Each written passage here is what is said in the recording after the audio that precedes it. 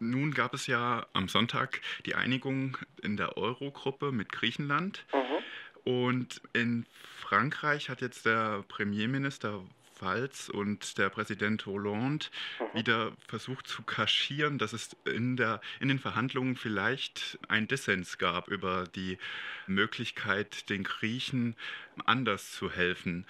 Gab es da in Ihren Augen einen Dissens zwischen Frankreich und Deutschland?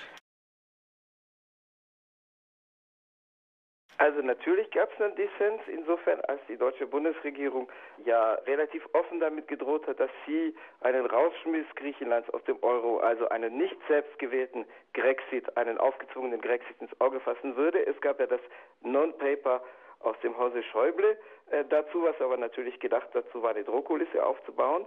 Äh, die französische Regierung wollte auf keinen Fall diese Position beziehen, äh, weniger aus menschenfreundlichen Gründen, sondern ähm, weil im Falle eines Ausscheidens Griechenlands aus dem Euro, wenn Griechenland das dann beantwortet hätte mit einer Erklärung der Zahlungsunfähigkeit bei den Staatsschulden und mit einer Einstellung, also etwa wie Argentinien 2001, als Argentinien aus der Bindung des Peso an den Dollar rausging und dann aber gleichzeitig den Schuldenschnitt von seiner Seite her, die Nichtrückzahlung erklärt hat.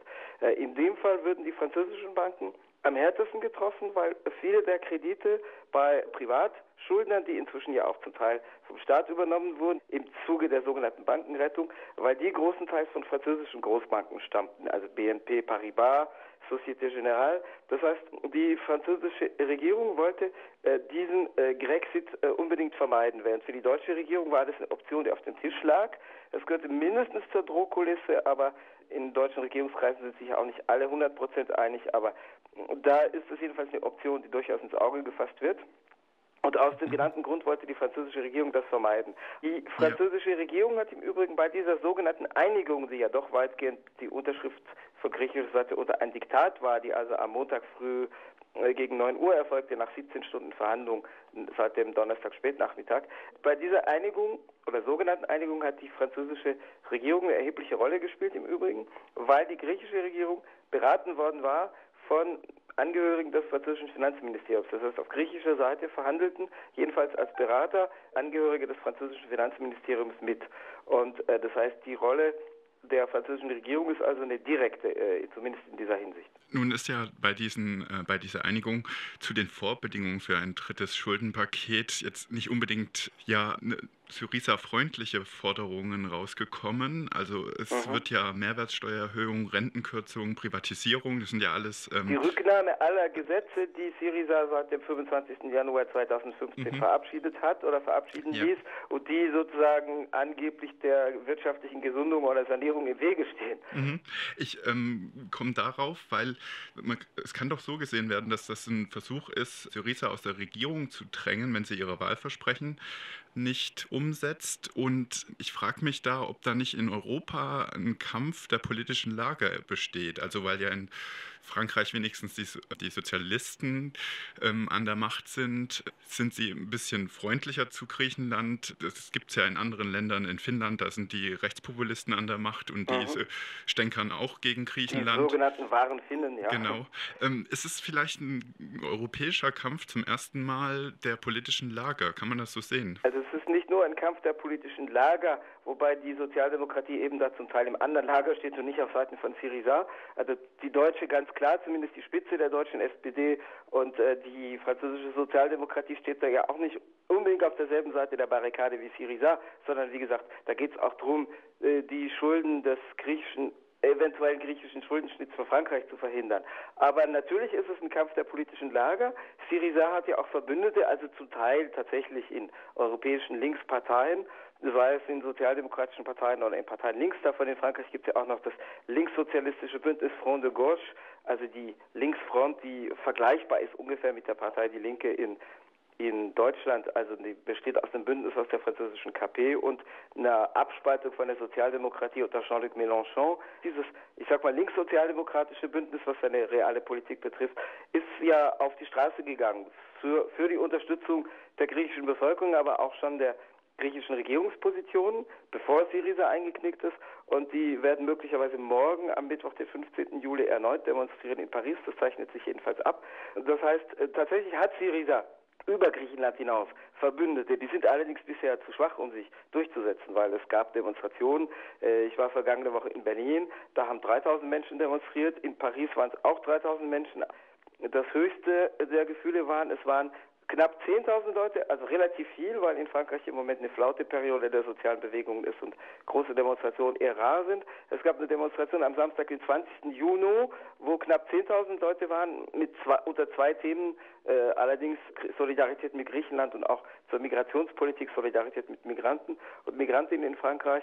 Also es gibt diese Kräfte, die verbündet sind mit Syriza, es gibt sie in Linksparteien, es gibt sie auch auf der Straße, aber diese Bewegungen sind ja nicht stark genug, um äh, sozusagen die Regierung zurückrudern zu lassen in ihrem Auftreten gegenüber Griechenland. Mhm. Und natürlich hinter diesem Kampf der politischen Lager steckt nichts anderes als Klassenkampf, der aber von oben stärker geführt wird als von unten, wie das ja auch in anderen Bereichen ähnlich gilt. Nun kommen wir vielleicht noch zur öffentlichen Meinung. In Frankreich ist ja noch eine Mehrheit ähm, war und ist ähm, für eine Einigung mit Griechenland und der ja. Verbleib in der Eurozone. Hier in Deutschland hat es mal, war es mal kurz pari pari. Also es war auch am Anfang ähm, für den Verbleib mehr Zustimmung da.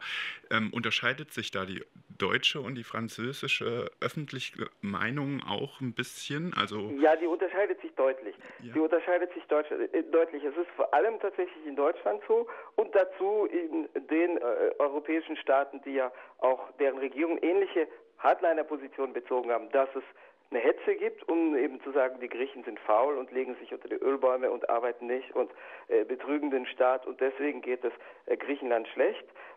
Das ist in Deutschland sehr verankert, unter anderem durch die Publizistik. Äh, zu nennen ist natürlich die Bildzeitung, wie ihr alle wisst. Ein vergleichbares Bild gibt es in manchen osteuropäischen Staaten, wo eben äh, die Staaten selber auch durch harte wirtschaftliche Anpassungsperioden in der Übergangsphase nach dem Realsozialismus durchgegangen sind und die, wo eben zum Teile der Bevölkerung sagen, uns hat man auch nichts geschenkt und warum sollten wir jetzt den Griechen was schenken? Also wo so ein hartes Konkurrenzdenken herrscht wie in den baltischen Ländern und die auch tatsächlich wirtschaftlich von, äh, von geringem Niveau aus anfangen mussten, wie in der Slowakei. Du hast Finnland erwähnt, natürlich auch wegen der extremen rechten oder rechtspopulistischen Partei der wahren Finnen, der äh, PS abgekürzt. In Frankreich ist tatsächlich ein anderes Meinungsbild, wie auch in Südeuropa, im mediterranen Europa, äh, dort wird Griechenland doch eher oder wird seine Bevölkerung, nicht unbedingt die Elite, aber die Bevölkerung auch eher als Opfer gesehen. Das unterscheidet sich sogar, was die Rechten die politischen rechten Ränder betrifft, weil zum Beispiel der Front National auch nicht diese Griechenlandhetze betreibt, wie wir sie aus Deutschland kennen, weil der Front National, der ja auch eine Anti-EU-Partei ist, wenngleich er ein bisschen Wasser in den Wein gießt, weil er da Probleme mit den Mittelständlern und mit dem Bild der Bourgeoisie hat, die da nicht mitziehen wollen, weil sie sagen, und dann, also sozusagen, ihr könnt jetzt nicht unser, mhm. unser wirtschaftliches Risiko aufbürden. Vergleichbare Töne, also die jetzt eher einpeitschen gegen Griechenland und die Unverantwortlichkeit der Regierungspolitik und dass es ein Unding gewesen war, dass man die Bevölkerung fragt beim Referendum. Solche Positionen gibt es eher als wirtschaftsliberalen Elitendiskurs, eher sogar in liberalen oder linksliberalen Zeitungen wie Le Monde, was man ungefähr vergleichen könnte mit der Süddeutsche Zeitung. Ja, hier in Deutschland wird ja auf die ökonomischen Bedingungen geschaut und das ist eine ganz, ich würde jetzt sagen, eine ganz enge Schule, die hier in Deutschland vertreten wird, mhm. nämlich Sparen ist für einen Staat gut, weil er sich damit eine Autonomie erhält. Also durch, durch einen Schuldendienst ähm, ist, ja, man, ja. ja. ist man ja Gefangener dieser Zinszahlungen und so. In Frankreich wird das ja auch anders gesehen. Da gibt ein anderes Staatsverständnis, also ein Wirtschaftsverständnis auch. Tatsächlich, in Deutschland gibt es sehr eng geführte Dogmen neben das Sparen, Sparen, also sozusagen das scharfe, scharfe Häusle bauen, sozusagen auf, auf die Makroökonomie übertragen, gibt es eben in Deutschland auch die Inflationsangst, die natürlich historisch tief sitzt.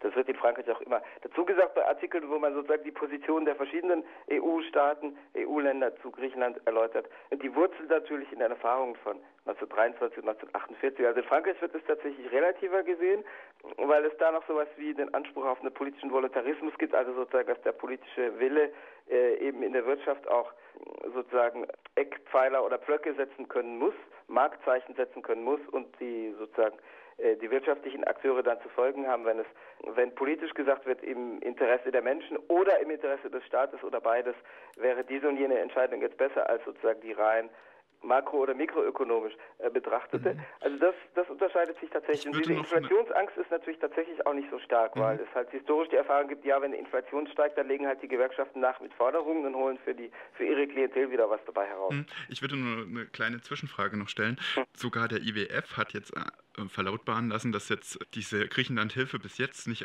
von Erfolg gekrönt war. Sondern vor allem an die Banken ging, das ja. haben die ganz offen gesagt.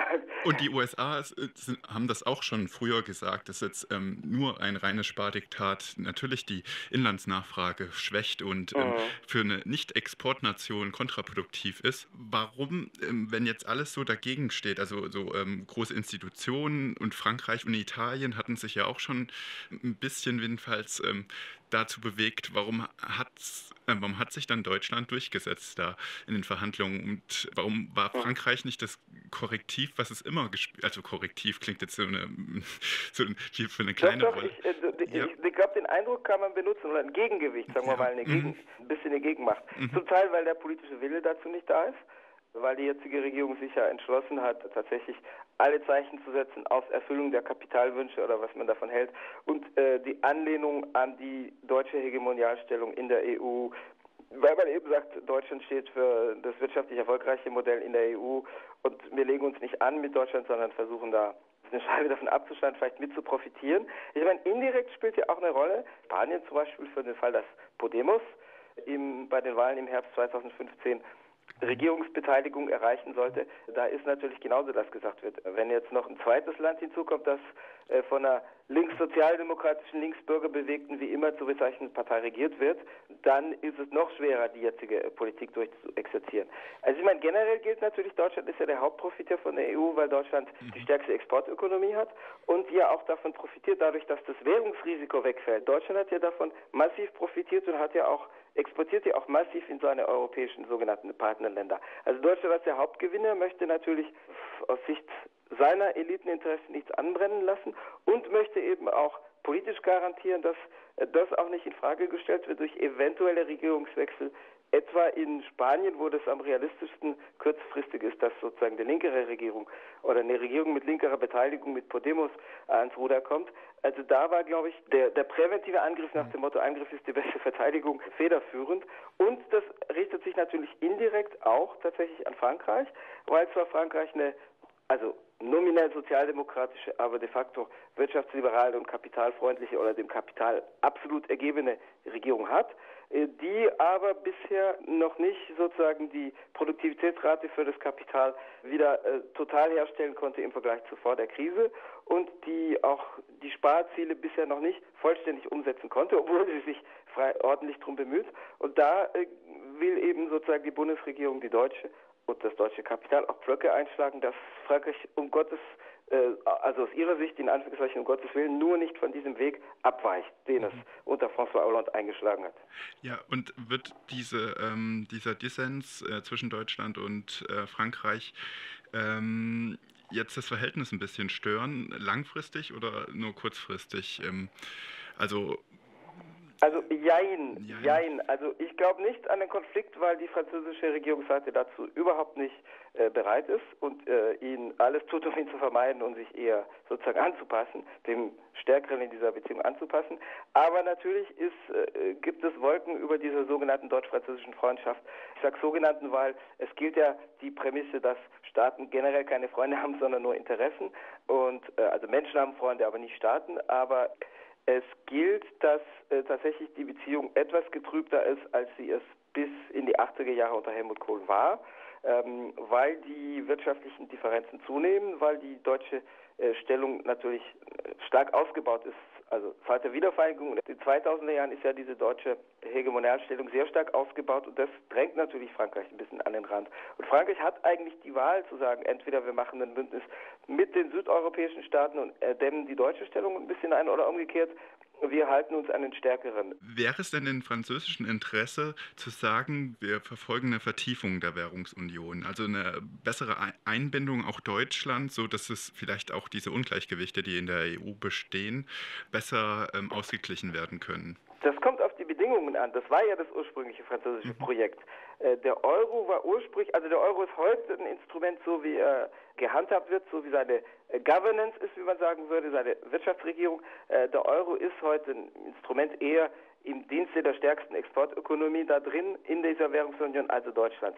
Es war aber nicht so angedacht, sondern das ursprünglich das allererste Konzept für die Einheitswährung kam von französischer Regierungsseite und war die Antwort unter François Mitterrand damals auf die deutsche Wiedervereinigung, um eben zu sagen, gegenüber den Befürchtungen, dass Deutschland wieder an historische Positionen anknüpfen kann nach der Wiedervereinigung, setzen wir die Einbindung in diese Währungsunion und nehmen dadurch sozusagen Deutschland sein Machtmittel in Gestalt der starken D-Mark und sozusagen ersetzen das durch ein kollektiveres Instrument.